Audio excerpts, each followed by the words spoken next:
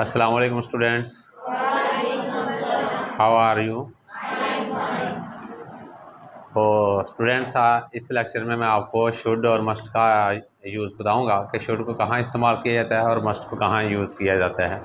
और शुड के बाद स्टूडेंट्स आपको बताया जाएगा कि इसमें कौन सी फॉर्म यूज़ की जाएगी और मस्ट के बाद कौन सी फॉर्म यूज़ की जाएगी।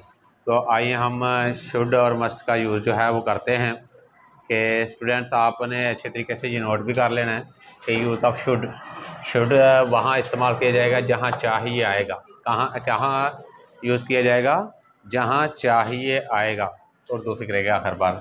तो इसकी तशरी जो है आप लिख लें कि जब उर्दू फ़िक्रे के आखिर पर चाहिए आए, जब उर्दू फ़िक्रे के आखिर पर क्या आए चाहिए आए तो उर्दू फ़िक्रे की अंग्रेज़ी करते हुए स्टूडेंट सबसे पहले सब्जेक्ट और उसके बाद आपने शुड लगाना है और शुड के बाद आपने first form of verb use करनी है।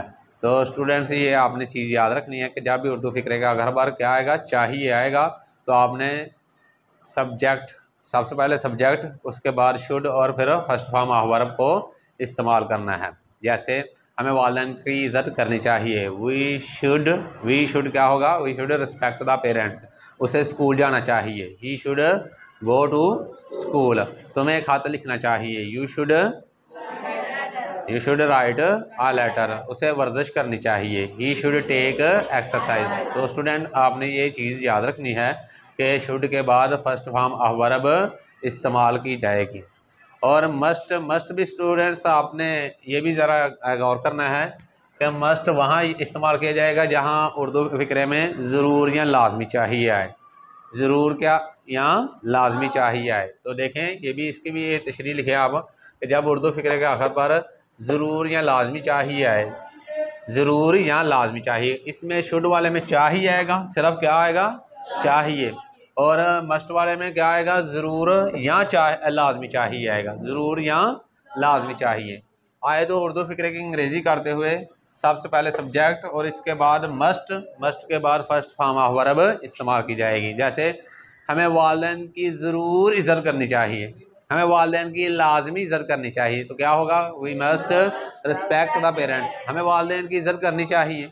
We should respect the parents हमें लाजमी इज़्ज़त करनी चाहिए। फिर क्या होगा?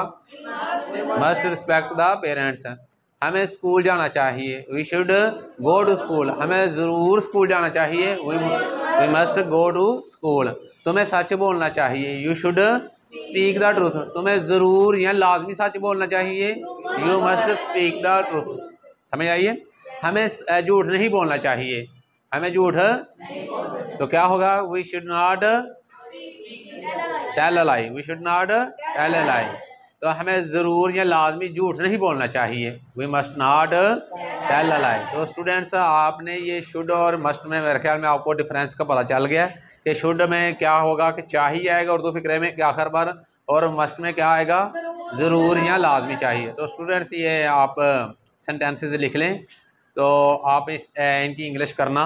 अगर आपको कोई प्रॉब्लम हो, कोई टेंशन हो, किसी भी किस्म की कोई वो परेशानी हो तो आपने मुझे कमेंट बॉक्स में कमेंट भी करना है ताकि मैं आपकी हेल्प कर सकूँ। तो आपने स्टूडेंट लिखें राइट ऑन हमें वालदेन की इज़्ज़त करनी चाहिए। हमें वालदेन की इज़्ज़त करनी चाहिए। तुम्हें ज़रूर सच बोलना चाहिए। तुम्हें ज़रूर सच बोलना चाहिए। उसे गाना गाना चाहिए। उसे गाना गाना चाहिए।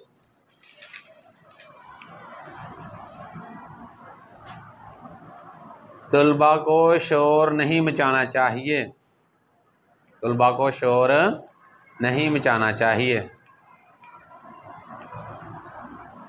तलबा को दिन रात ज़रूर मेहनत करनी चाहिए।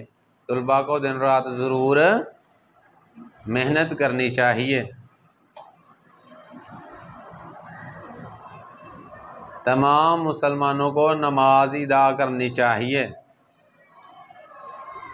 तमाम मुसलमानों को नमाज़ अदा करनी चाहिए।